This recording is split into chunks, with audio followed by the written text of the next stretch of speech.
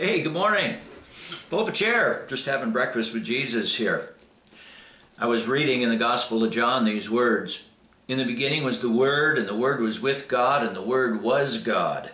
And the Word became flesh and dwelt among us. There it is. Christmas in two sentences. The Word became flesh, God became human, and was born into the earth. This is one of the most life-giving of Christian doctrines.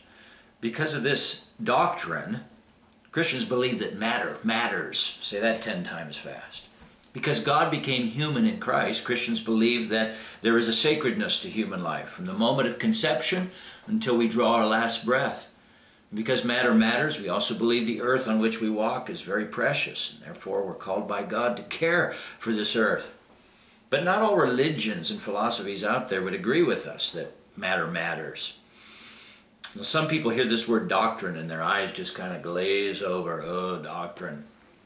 Reminds me of when I was a boy and I'd eat breakfast with my two brothers and my sister. We'd just sit at the table and we'd read cereal boxes. Uh, milled corn, sugar, malt flavor, salt, BHT for freshness. I guess it was all we had energy for. I'd love to do a national survey and find out how many people actually read cereal boxes when they were young. Might be mildly comforting. Well, a lot of people treat doctrine the same way. The Trinity, Father, Son, Spirit, BHT for freshness. But the study of doctrine, is done properly, it's very practical.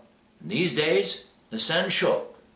Because typically, doctrine, what we believe, shapes our ethics, how we behave. And if there's a doctrine out there that says that infidels are to be annihilated through jihad to win the favor of Allah, if ever there's a doctrine that shows that matter doesn't matter, that would be it. Well, I want to know who believes that doctrine. We are seeing on display vividly today the impact that doctrine has on life. We've seen it recently in Paris and then in San Bernardino. This is why the bizarre foot dragging of our president and his administration to not label this as radical Islamic terrorism is not only foolish, but it's dangerous. If you have a cancerous tumor, your doctor keeps insisting, no, it's gout, it's gout. Your doctor's playing with your life by not diagnosing the real disease. No, we can't and shouldn't prevent Muslims from entering the country. Strange proposal in what is becoming another strange political campaign. But Americans need to get over this political correctness that's in them and start examining carefully Islamic doctrine and history. In fact, all noble, good-hearted Muslims need to be doing the same thing. If you say you love peace, then you need to work to bring about a reformation in your religion. Because right now there's a cancerous evil embedded in your faith. And it's scattered throughout your scriptures, it's splattered across your history. It's modeled by your founder, and right now 15 to 20% of the world's Muslims believe these doctrines. Doesn't that bother you? Some people say, well, this just proves that religion is the problem. Religion is what creates these monsters. Religion is what causes people to unhitch their brains from their bodies. God's not going to fix this. That's foolishness as well. Belief in God is not the problem. As if only more people would get over their love affair with the deity, this world would be a better place. Sorry, but not believing in God creates its own set of darkness and despair. It's not belief in God that's the problem. It's belief in the wrong God. Which brings us back around to doctrine.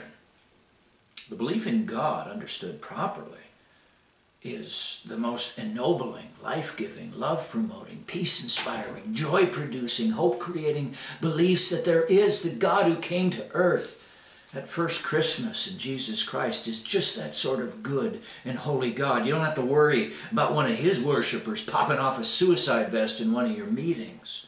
What you got to worry about with those rascals if they come into your town, they might just set up a food shelf or build a hospital or school or start caring for the poor. The worshippers of this God, and I have 2,000 years of history backing up what I'm going to say next, have been a blessing to the earth.